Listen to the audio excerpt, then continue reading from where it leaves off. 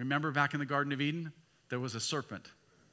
Later, Jesus said he comes to steal, kill, and destroy. I want you to know that right today, there's an enemy of your faith. And here's the deception the deception is putting my trust in God is risky. I can't really trust him. In Proverbs chapter 3, verse 5 and 6, it puts to death this is the word of God declaring to you that that deception, that God is too risky, you can't put your trust and faith in Him. Proverbs says this Trust in the Lord with all your heart. Do not depend on your own understanding. Seek His will in all you do, and He will show you which path to take. I wrote this a couple years ago, but I wanted to read it to you and read the sentence specifically because I felt like God kind of gave this to me. I'm more convinced than ever that for God sized things to happen, we have to remain risk taking, faith filled, Jesus trusting, culture engaging men and women of God.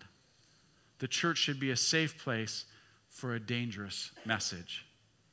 I really believe that Jesus trusting, faith filled, risk taking, culture engaging men and women of God are what the Father longs for. And this teaching about the armor of God equips us with the shield of faith how many of you know that you have an enemy of your soul? And he's firing fiery arrows at you on a regular basis. Some of you, just, just not be funny, some of you, those fiery arrows are going to come at you in the parking lot. Did you know that some of you don't drive so well? and some of you will be jetting out of the parking lot ASAP. You're hustling to get everybody there because, after all, it is a race, right, to get out of the parking lot and you all have stuff going on. So some of you will finish this teaching today. God will have met you in the worship, He will have met you in the teaching, He will have met you in the lobby, but He will have abandoned you in the parking lot. because the fiery arrows will come, and you go, Look, I can't believe they drive like that.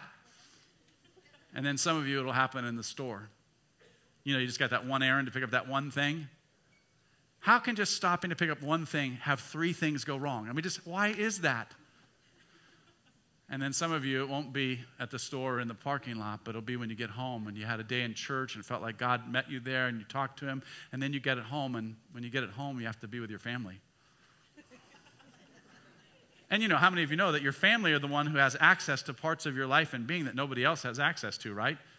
All it takes is just that one wrongly placed word from somebody in your family, and boom, they just cuts deeper than anybody else. It can hit that tender spot. You, you know that, right?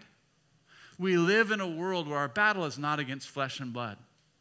If your spouse has ever said something to you that's cut deeply, that indeed is a representation of the fallenness of our humanity, but I want you to understand that's also spiritual warfare. You have to understand that. So, how do we approach life where we're constantly getting these missiles fired at us? We're constantly getting these fiery darts thrown at us. Well, the Bible says there's just one thing it's faith. Hebrews 11 6 says this Without faith, it's impossible to please God because anyone who comes to him must believe that he exists and that he rewards those who earnestly seek him.